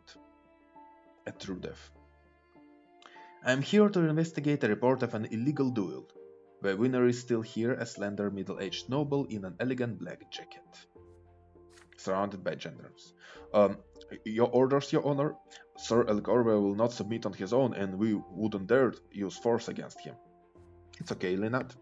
I will uh, uh, resolve this matter. Mm-hmm. El Corvo's eyes widen and his face comes to life when he notices me. It was a duel sanctioned by the Court of Honor, that is all. The late Sir El Este questioned my loyalty to the Emperor and called me an apostate. He left me no other choice but to defend my honor, and now he is dead. Please be quick with your verdict, Sir Judge. I am expected at the capital. You do know who I am, don't you? Before I can say a single word, a carriage bearing the crest of Magistrate Elverman, of course, rolls through the gate. This guy is stalking me. okay, the magistrate furrows his silvery brow as he looks at the sorrowful scene. He takes me aside for a moment. Brante, as you know, I am the chairman of our city's court of honor. I refused to sanction this duel for as long as I could, since true death was on the line. But Alan El Corvo insisted that denying him would spell trouble for the city of Anizot. Regrettably, he is a small yet important person in the Emperor's court. He used to command the Emperor's personal guard. I realize that you must mete out justice as your duty demands. But remember, duels of honor are one of the cornerstones of imperial tradition, one of the pillars that support the twins' divine vision for the empire. You have the authority to punish El Corvo, but be careful, he might make a dangerous enemy both for yourself and for all the nobles of Anizot. But fool El Este didn't know this, and now he's lying there before us. We would be wise not to repeat his mistake. Hmm? Brante, the situation is far from ordinary. If the fate of your city means anything to you, it would be best to let El Corvo go without a trial. Anizot doesn't need any trouble from the capital, and the El Estes are not as strong as they used to be. They'll get through it. You may find him if you wish. Justice will be done, at least to some extent. Hmm. Okay. Deep in thought, I gaze upon the body of the dead duelist and the long shadow of El Corvo. Okay, let's see. Um, I can uh, heed Elverman's advice and find El Corvo, improve my career, worsen my justice. I can sentence El Corvo to capital punishment because I have Octavia's favor. I uh, can use her uh, patronage to have the murderer prosecuted to the fullest extent of the law. I can also legalize duels. El Corvo's right to a duel will be acknowledged as lawful. Well, um, Bran Brante has a healthy respect for Court of Honor and uh, its decisions. But what I don't like about this case is that Remy Elverman basically allowed himself to be bullied into sanctioning this duel. He did not sanction it because it was an honorable thing to do, but because Alan El Corvo used his political influence to bully uh, the local court of honor into sanctioning uh, this duel. Not good. Moreover, I am deeply disturbed by Elverman's uh, opinion that uh, El Estes uh, should not uh, have justice. They they do not deserve justice because they are not strong or influential enough. So, what I'm gonna do, I'm gonna do something daring and stupid. Elverman thinks I am beneath his thumb. It's time to prove him wrong. I'm gonna go off a script here a little bit because uh, the script doesn't represent what Bran wants to say. I shake my head dispassionately. It pains me to see, Sir Magistrate, that you care so little about your fellow nobles of a sort.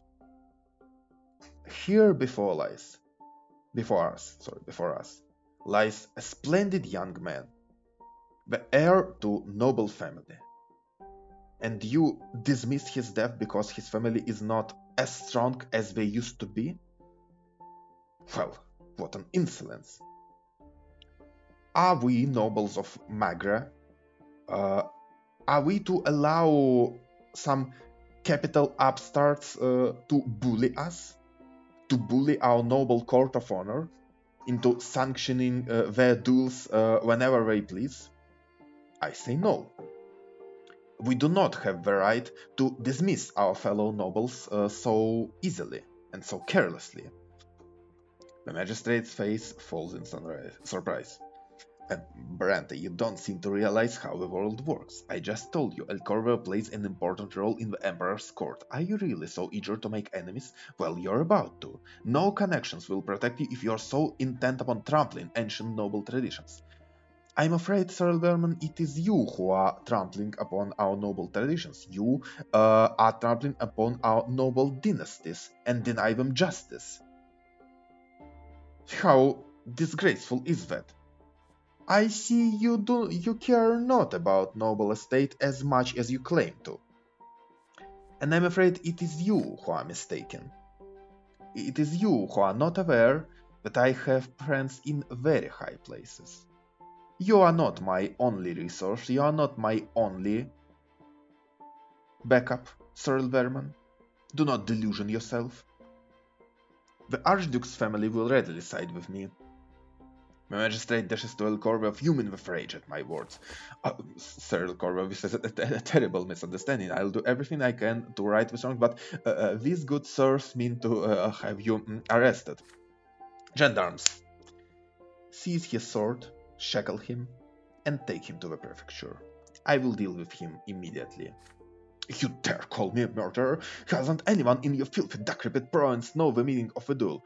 Oh, we know the meaning of a duel perfectly well, Sir El Corvo. And you are gonna face punishment for bullying our court of honor into sanctioning your duel. He draws his sword and assumes a defensive stance, but I start giving commands to the gendarmes, and following my orders, they manage to surround and disarm El Corvo. okay, um, I'm gonna take care of the paperwork, and more importantly, send a message to Octavia. My dear lady, I write, uh, I humbly ask you to convince the aristocracy to side with me in ordering the death penalty for El Corvo. He is a complete outsider in Magra, who happened to murder the heir to the ancient bloodline of El Este. This is a disgrace, this is an insult to our nobility. So surely you can aid uh, your little pumpkin pie in such a trifling matter. Oh, you will help your pumpkin pumpkin pie, yeah? Her reply takes almost no time to arrive. El Corvo is a staunch follower of the Tempest and the new overseer. Me too, but that does not excuse him. This puts him at great odds with my father. Removing him will be easy, especially if you have a proper case against him. Oh, I do, I do. Rest assured, Bran, the Milanides dynasty will side with you in this trial. As for other nobles, have no fear. I will let no harm come to you, my dearest human. Oh, you, my blueberry cake. Mm. El Corvo's trial comes and goes incredibly quickly. The seats in the courtroom are absolutely empty, no noble risks appearing in defense of the visitor from Eterna and attracting the displeasure of Archduke Milanides. Okay, I present evidence of El guilt. It's fairly easy to do because uh, duels are banned in the Empire. The Court of Honor exists in a murky area uh, between legal and illegal. So, the ill-fated noble visitor coldly spits out threats in return. Yeah, yeah, yeah. The Board of Justice makes its final judgment. Oh, Elborn presides. Nice. Sending a noble to the hereafter is never easy. But there are times when the court has no other way to instill respect for imperial law among those of the noble estate. Sir Corvo, we hereby sentence you to true death by decapitation. The sentence will be carried out in Majesty Square tomorrow. Oh, decapitation! I love decapitations! El Corvo is silent, unwilling to believe in what has just happened. But the verdict has been made. El Corvo is taken to the dungeon. Tomorrow, the city of Anizot will for the first time witness a noble being executed for a duel, because there is no higher power than imperial power. I am the law here. I have the power here. Yes. Oh, shit. That was an unpleasant sound to hear.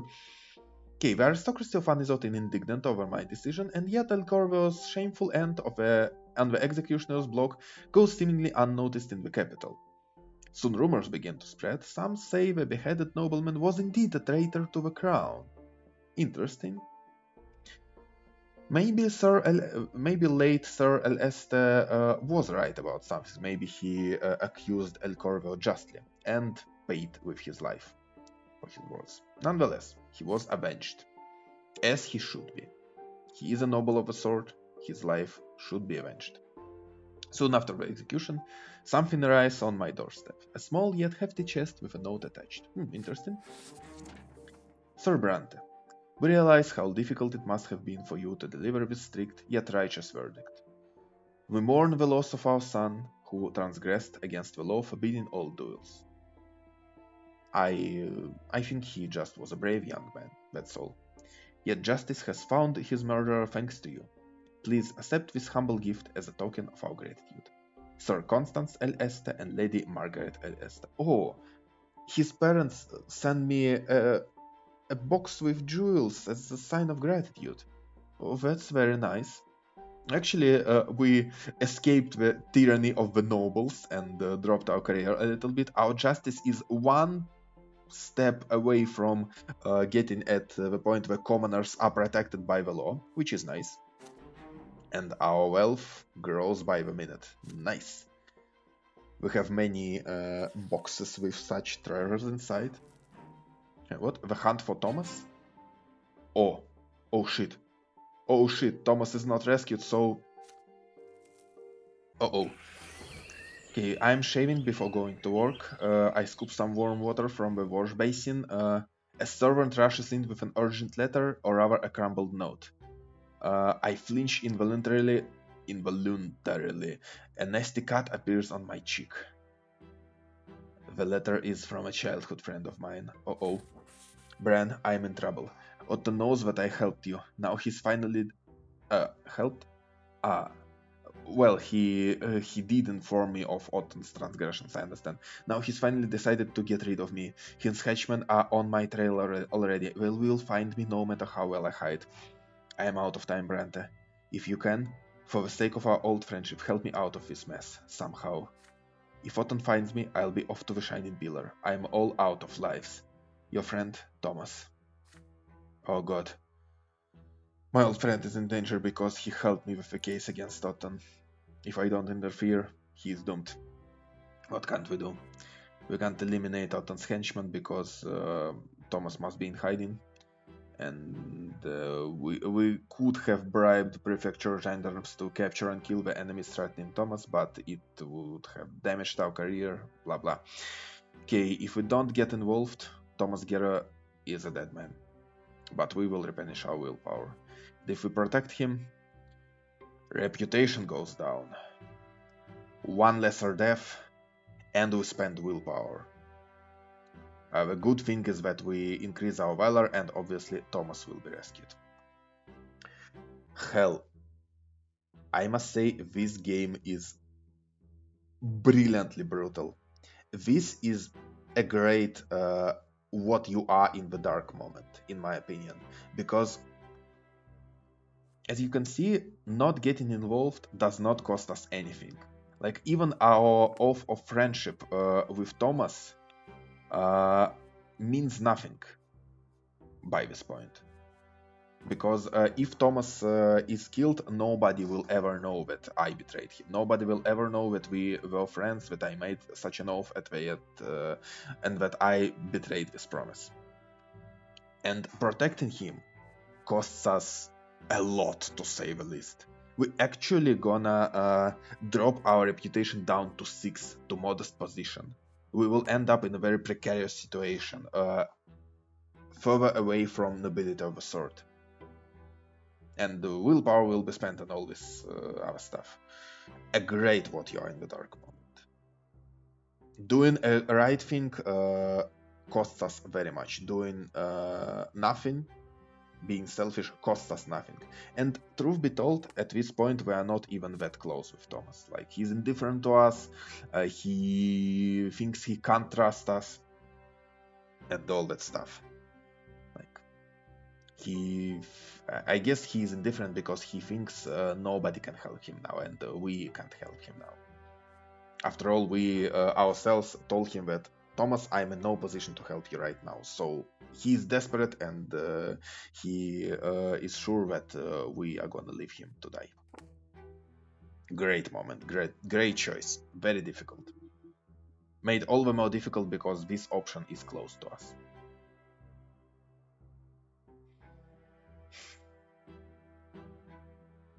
You know what?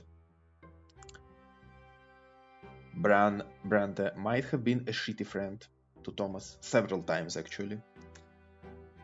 But I'm here when it matters. Hold on, Thomas. I'm coming. I'm coming, Thomas. Hold on. I'm your brave knight in, in shining armor. I will not fail you, my friend. I crumple up the note, pick up my sword, and rush to help him. I know where he has been trying to hide recently, the ruined palace of Charmilanides, where I use where we used to play as children. Eh, it all comes together. I get there just in time. I hear a familiar voice coming from the ruins of an ancient bathhouse. Quit hiding, you bastards! You won't take me without spilling some blood of your own! I follow the cry. In the middle of the old bathhouse, I see Thomas, dirty, his hair overgrown, a sword clutched in his hand. Five men, inconspicuously dressed in coarse clothing and wielding various weapons, are slowly closing in on him. Bastards, you outnumber him, you fuckers! We all freeze, stunned by my unexpected appearance. what took you so long, Brante? Oh, fear not, my fair damsel, I'm here to rescue you. I hear intense joy in his voice. I rush to Thomas' side. Back to back, we start the fight. Uh, we are more skilled than Otton's henchmen, but they outnumber us. Shitheads. I do not let them surround us, but the fight is still a tough one. We succeed in wounding one of the enemies in the leg and force him to drop out of the battle. But another huge bruiser is swinging a club wildly, and all I can do is dodge. We are quickly becoming exhausted. Thomas keeps pace with me. He performs a masterful counterattack against one of the enemies and skewers him with his sword. Unfortunately, his weapon becomes stuck in the enemy's body.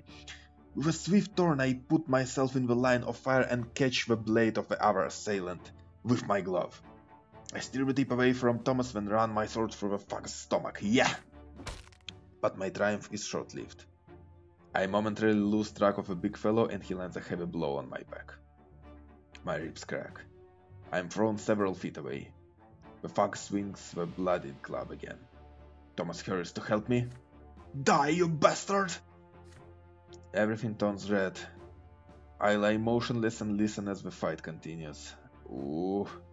Until several shrieks of agony announce that it is over. Thomas leans over me. hey, hey, hey, Brante, I just asked you to help, not, not to die in my place. My old friend's stupid joke is the last thing I hear. Yeah, one thing I always dreamt to hear before my second death. Stupid jokes of Thomas. The rest of the world dissolves in a white light. Second death. Uh-oh. Impenetrable darkness surrounds me. I stand alone, bare to my very essence. It paralyzes me. I have an urge to cover myself, to hide.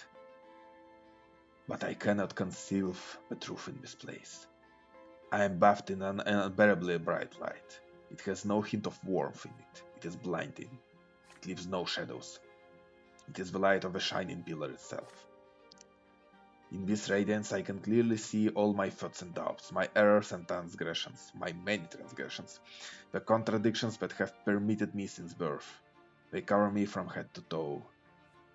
I am naked. I feel liberated and whole. It is as though the scales have fallen from my eyes. I see the true shapes of things now. There are the laws by which the world abides, the grand design that moves life itself. I tread a path that is barely visible in the blinding light, giving shape to everything. In this light I see the infinite complexity of the world, from the tiniest leaf to the enormity of the empire. And this world maintains its balance by virtue of the law that was embedded in it during the act of creation. Ahead of you two figures are waiting on the path. They are gigantic, many times taller than a man. The younger twin gazes at me sternly, coldly. I kneel obediently before him and lower my head. The god raises his sword above me. This is divine retribu retribution. There is no law without it, nor can there be. Every action has consequences. This is what shapes the world, making its very existence possible. In this moment, beneath the gaze of a merciless god, I comprehend the law that binds the entire world together. Which manifestation of the law in will in which manifestation of the law will I live by? Empire. The great and incredible sophisticated mode of existence for all people. Cause. My life's work shapes the world, and thus I influence the great law itself. My destiny is my own manifestation of the divine law, my lot. I am an embodiment of the law. I have been made in accordance with the divine design. It is the law that has been with you, with me since the day I was born. Family. My family is a model of the world, a tiny universe, and it belongs to me just as I belong in it, or against the law. I defy the design of the gods and the law that binds it together. Interesting, very interesting. What does Bran Brante believe in? What is the law that binds the universe together? What is the law that brings all the creation in one comprehensible structure. I think I understand the twins design better.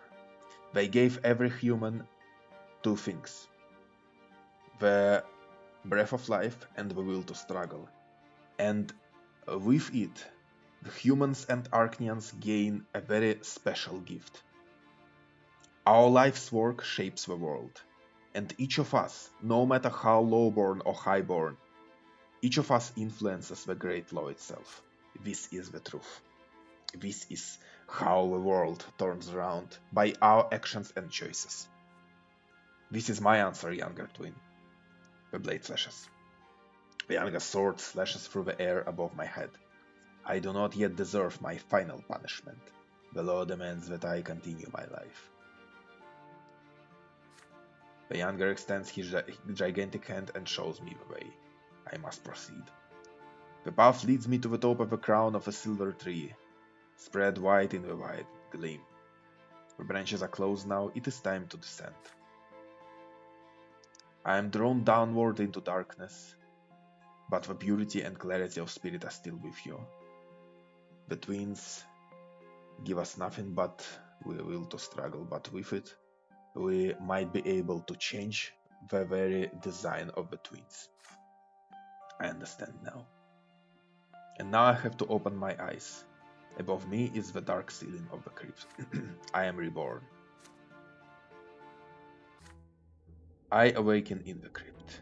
No one is there to meet me. It is quite possible that no one knows about my death. The battle in the abandoned palace of Charmilanides is the talk of the city for several days. My name somehow comes up. Commander Otton does not openly accuse me, if he did he would have to explain what his men were doing there, but his schemes make it much more difficult for my brother Stefan to have a Brante family ennobled by a sword. Oh, you are a good enemy, Dorius Otton, you are a worthy opponent.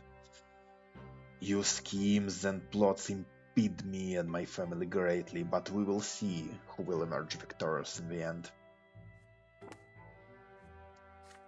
Thomas fled right after the fight.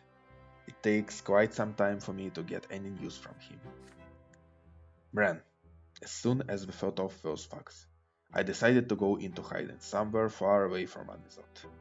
Without his spies, Otton seems to have lost my trail, and it's all thanks to you. I am in your eternal debt, Brante.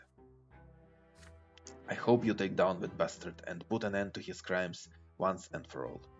We'll meet again your friend Thomas.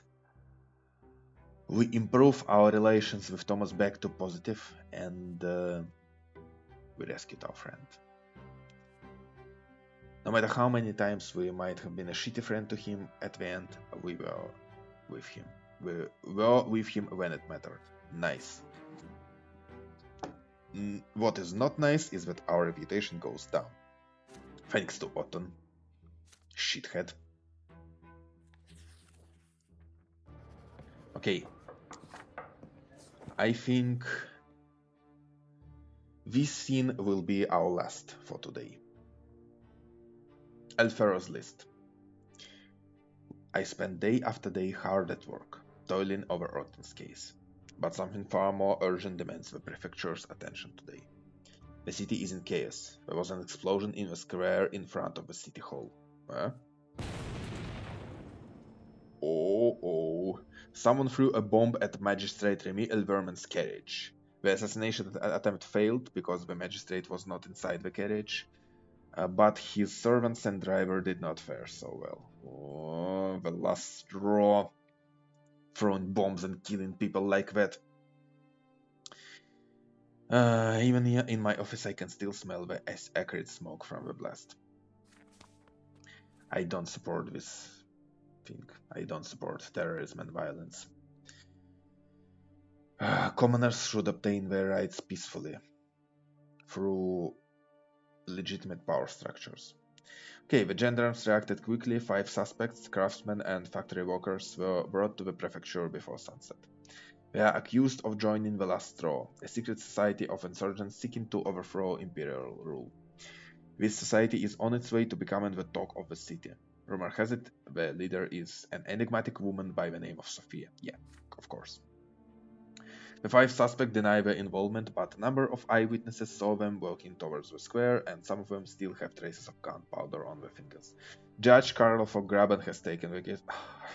the trial will be mercilessly swift, of course. The five are to be hanged tomorrow morning. Okay, as the sun begins to set, a stranger enters my office. Pale, with chiseled features, a furrowed brow, a thick black mustache, and dark eyes watching me intently. He presents me with a gilded pendant in the shape of a wheel. Baron Philippe Elferra, Secret Chancellor Advisor. I imagine you are well aware that we deal with plots, schemes, and revolts against the Empire. I have a matter of great importance to the Empire to discuss with you, Sir Brante. I am aware that the case of the explosion in the square was not assigned to you, but for our purposes this is actually for the best. The Secret Chancellery has been following this so-called Last Straw group for a long time now. They are the greatest threat to peace in Anizot. But you can help us rid the city of this menace. He produces a neatly folded sheet of paper. This is a list of known insurgents connected to the Last Straw. We haven't blown anyone up just yet, but surely you realize that it would be most imprudent to wait for them to commit their next crime. The time to act is now. I scan the list quickly, some of the names on it seem somewhat familiar, perhaps from my youth. Find a way, anyway, to implicate them in today's assassination attempt, and you will prevent more explosions in the future. The Empire will rest easy if we can rid ourselves of this scum as quickly as possible. If you render this service to the Secret Chancellery, you may rely on my assistance in the future. As you may expect, I have more than my fair share of powerful connections. The Secret Chancellor Advisor pierces me with his heavy gaze. Okay, uh, we have uh, an unlocked option, Obey the Secret Chancellery. Uh, it will tremendously worsen justice in our province and uh, worsen our unity and worsen our relations with our father. So basically, this is the option to sentence these people to death on false charges. Mm, a rotten deal. We can protect the people on the list, refuse Advisor Elferra, and protect the people from the Secret Chancellery. They are innocent until proven guilty. It will worsen our career, improve our justice, worsen our reputation further, but improve our unity. Mm, not that good. I can't allow myself to worsen our reputation any further. I'm already in a precarious position. Conduct an investigation. Before doing anything to the people on the list, I must find proof of their guilt. So it will improve both our career and justice, uh, and we're gonna spend a point of wealth, uh, I guess, to pay for this investigation. Yeah. What is shelter the suspects? Oh, oh. To unlock it, we must know Gloria's secret uh, about uh, her uh, secret society of poets, of commoner poets, back from our adolescence. So I guess some of the people from this list uh, are these uh, young commoners who used to write poetry with Gloria. And we can refuse to accept the case and warn the people of the danger looming over them. It will worsen our justice because we uh, will still break the law, we will still shelter potential mutinies and uh, criminals, but it will improve our unity, our wealth, and improve our relations with Gloria. I am choosing between conducting an investigation and sheltering the suspects. It's a tough choice to make. But I think we have established uh, uh, quite firmly that uh, Bran Brante prizes uh, honor and kindness more than he does the law. And also he is a little bit sentimental. So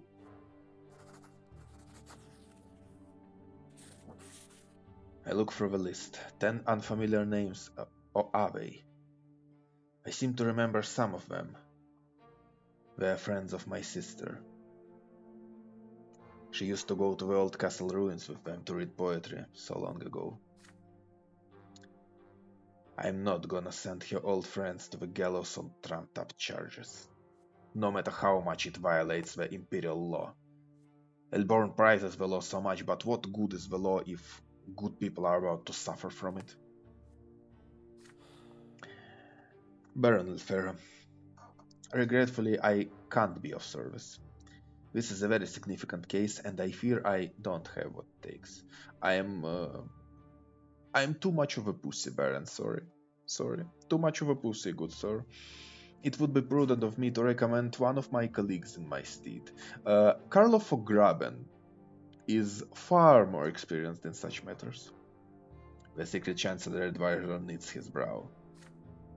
I expected your loyalty to be stronger, Brante. Very well. I hope the other judges will be far more decisive and far less reluctant to get their hands dirty in order to save the Empire. Good day. Okay, I go to Gloria's room as soon as I return home. Sis, we're in trouble. Uh, the Secret Chancellery is looking for your old friends from the Poetry Society. Uh, look, uh, I guess you might have lost touch with them, but perhaps you could... The Secret Chancellery? I need to warn them. We don't meet very often these days, but we have mutual friends. There's still time. Then run like hell, sis. Run like hell. Gloria rushes outside. She returns only at nightfall, carrying a hefty purse full of coins. Huh? I was just in time. They've left Anizot until things settle down. We would have been caught by now if not for you. I know you didn't do it for money, but uh, this is from my friends a token of uh, gratitude to our family.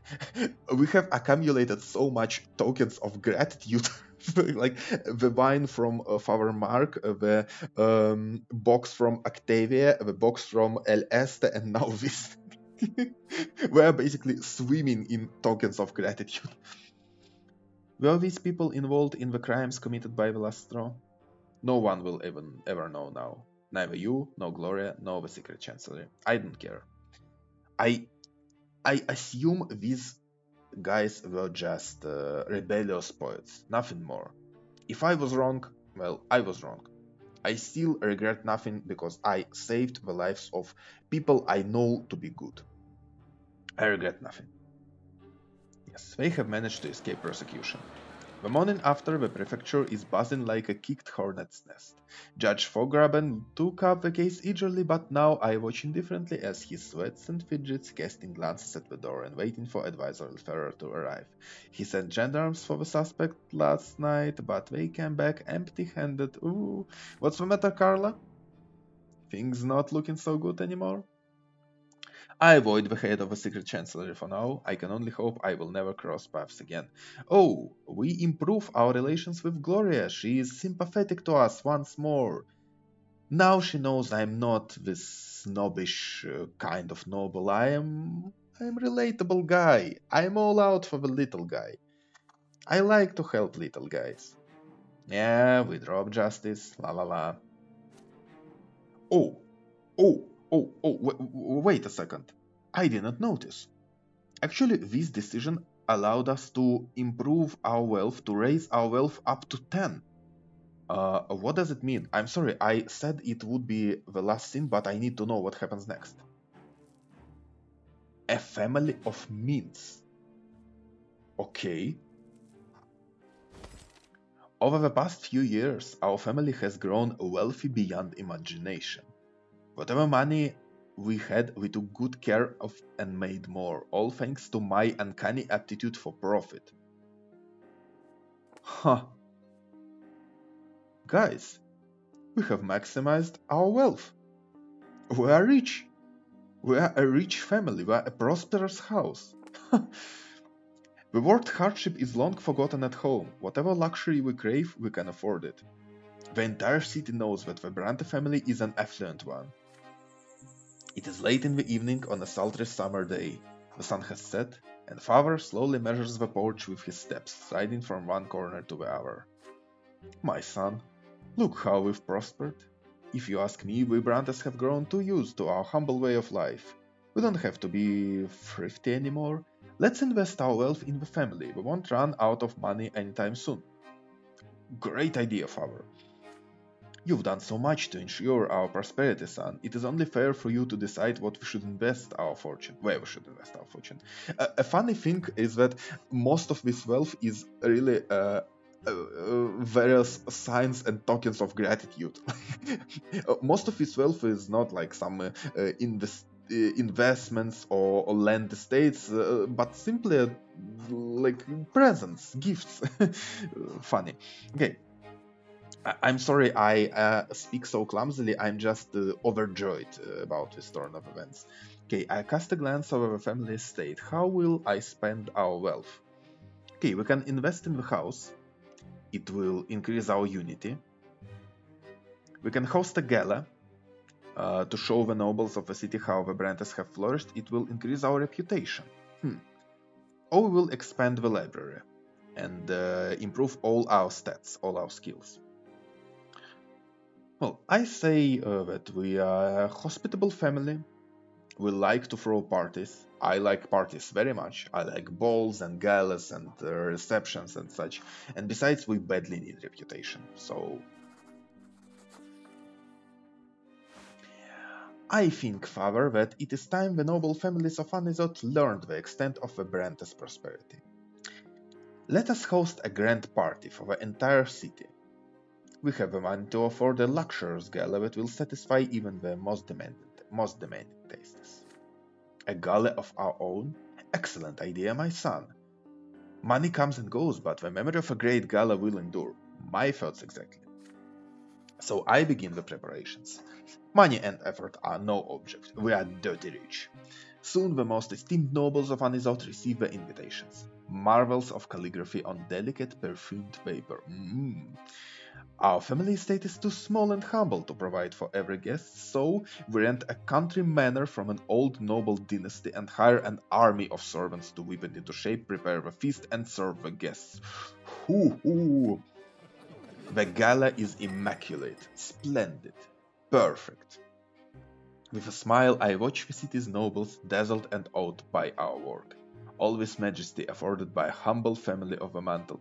I kind of feel guilty that uh, we mm, do all of this while uh, there is misery and devastation in Magra, but uh, uh, there isn't much to be done uh, about it. Like, uh, I can't resolve it all on my own, so I do what I can. And uh, it is not a crime to spend a pleasant evening with noble guests, I guess. The night ends with my pride and joy, a marvelous, colorful fireworks display. It illuminates the skies before Anizot like a miracle. Literally, decadent nobles feasting and enjoying life while commoners uh, struggle and suffer. But I hope we will improve this, the situation in the province soon. I hope so. Faber was right. This gala will not soon be forgotten by the city of Anizot. Our wealth uh, drops down to simple affluence we uh, spend our, uh, a portion of our wealth to host this gala, and our reputation goes up to 7. We are once again renowned among nobles. Haha! Eat shit, Otton. Your schemes and plots will not stop me from having a good time and improving my family station. My willpower is good. Oh, a special event, a family of means. The Brante family becomes known throughout the city for its wealth. We are rich even among nobles. Nice. Nice, nice, nice, nice.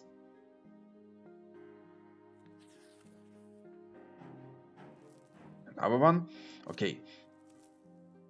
Okay, uh, this is a great point to end this episode. Guys, join us next time as we continue the story of the Brante family and Bran Brante in particular.